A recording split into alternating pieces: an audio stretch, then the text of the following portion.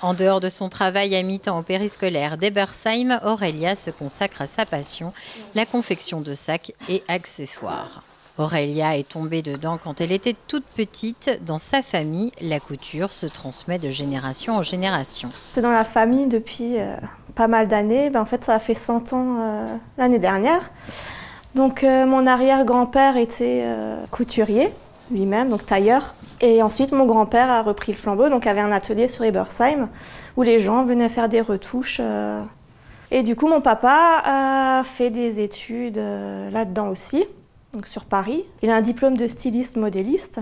Quand j'étais petite, j'étais beaucoup, euh, j'étais gardée par mes grands-parents, donc j'étais beaucoup dans l'atelier, sur les machines. Je faisais des, habits pour mes poupées, enfin pour mes Barbies, euh, voilà. Et ensuite, euh, je suis tombée enceinte donc une deuxième fois pour mon deuxième, et j'ai eu envie de, coudre. Et, un jour, bah, j'ai osé prendre la machine et puis euh, après c'était parti quoi. Début 2020, Aurélia décide de créer son entreprise après avoir appris beaucoup par elle-même. Je suis assez autodidacte en fait, j'apprenais par des vidéos YouTube ou voilà.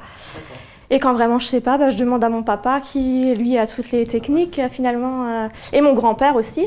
Et puis euh, j'avais justement retrouvé la machine de ma grand-mère qui est décédée, donc du côté maternel cette fois-ci, donc il cousait un petit peu euh, de son côté. Et donc c'est celle que j'ai euh, aujourd'hui, celle avec laquelle je couds. Euh, Sur son site internet, la jeune couturière propose aux visiteurs de personnaliser leurs commandes.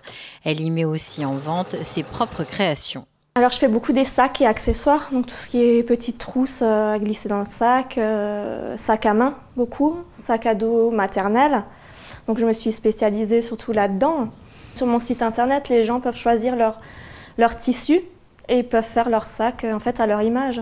Finalement, euh, bah, après moi je suis assez euh, créative.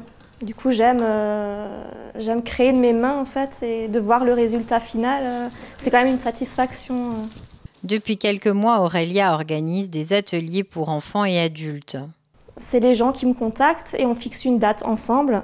Et euh, en fait, l'enfant est seul ou, par deux, trois maximum, vu que j'ai mhm. qu'une machine à coudre finalement. Et après, c'est souvent pendant les vacances que je propose euh, des petits stages ponctuels. Euh. Parce qu'en général, quand c'est privé, c'est eux en fait, enfin, on discute du projet ensemble.